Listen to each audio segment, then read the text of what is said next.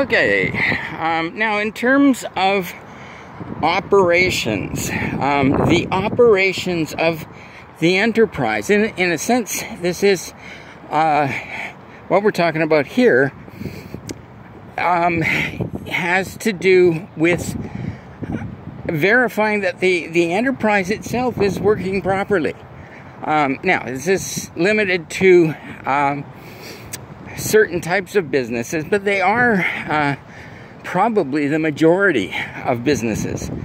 And that is um, businesses that engage in a great many transactions. Uh, anybody who is doing sales, uh, many, many sales of you know smaller items. If you sell you know, one three million dollar machine every two years.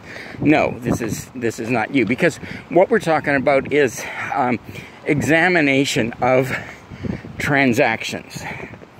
Um, so, do we have you know look at the transactions and see do we have a transaction that violates some policy um, in in some way.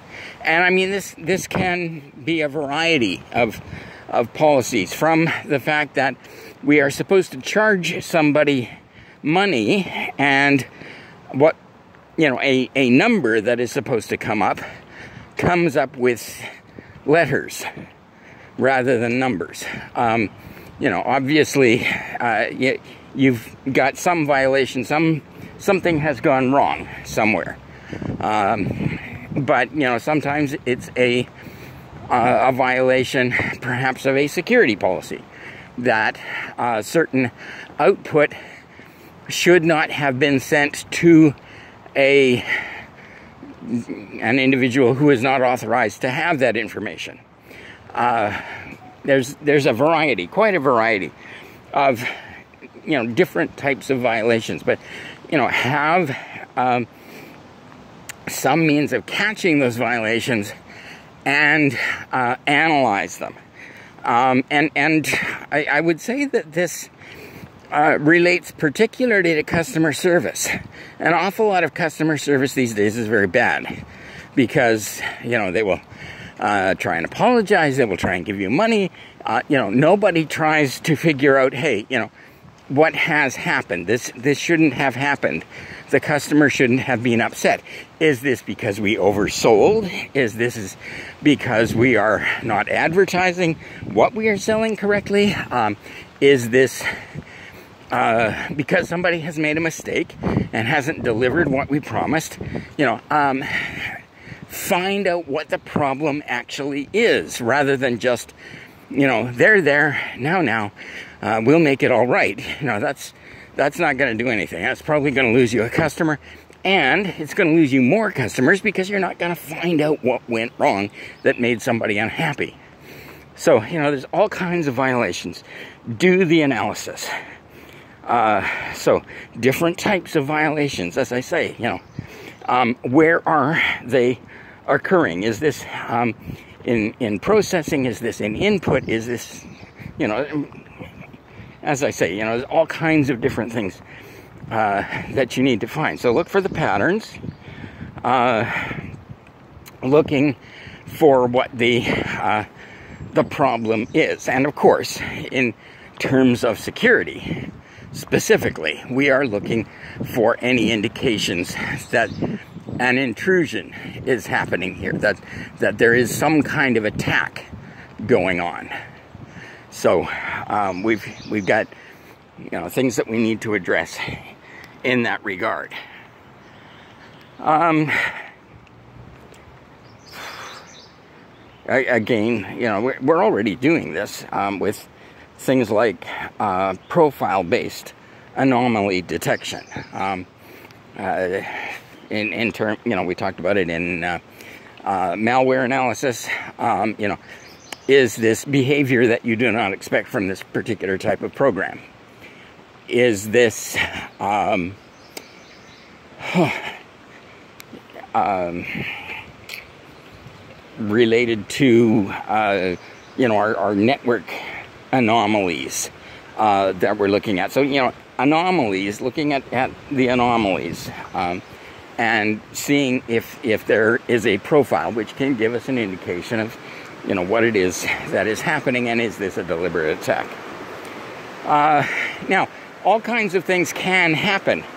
And so, um, you know, we're, uh, we're dealing with logs, we're dealing with, uh, you know, going back to the logs or having something report to us the logs um, or alerts from the logs. And, well, even when you're doing that, um, you know, the simplest uh, limitation that these programs are doing, rather than just giving you a dump of all the data, is a clipping level.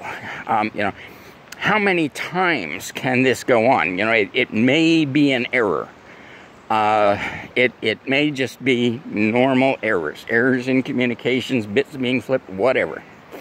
It happens. If it, you know, well, uh, recently found out that this is uh, actually a quote from Ian Fleming that uh, once is happenstance, twice is coincidence, three times is enemy action. And so, you know, the clipping levels, how many times before we have to say, wait a minute, this may be enemy action? We need to know uh, and, and, you know, report it to us you know, at this level, or or when the transaction is big enough, or when you know whatever it may be. The clipping levels can, uh, you know, you have to have a metric for the clipping levels, but um, you know, if it is something you can measure, um, you know, don't tell me, don't bother me until it gets big enough for my attention. Uh, now, this is lossy compression. You are losing some information. And every once in a while, you should go back and take a look at everything, as we talked about in terms of uh, network analysis.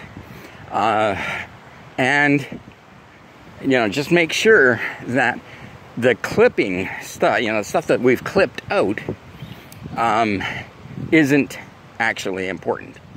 Uh, so we need to we need to make sure of that. Anyways, um, input and output controls. Uh, yeah, we've talked again uh, before in application security about input controls. You know, make sure that we have input controls. Are people doing the right things? Are are you know, entry people entering uh, accounts that they shouldn't be dealing with? Um, uh, are they uh, submitting numbers that are too big? Um, whatever. Uh, there's, you know, a number of things there. Uh, are they putting uh, alphabetic characters into phone numbers or into, you know, currency fields? Um, so, we need to look at that. We need to look at output controls too. As as I said, with regard to viruses, don't just you know scan for viruses ingress coming in, but do egress scanning. What's going out? That's an indication of what you're doing. So the output, we need to look at the output. Um, input, you know, uh, what's count the data, um, what has been edited, what has been entered. Um, output, um, look at your control totals.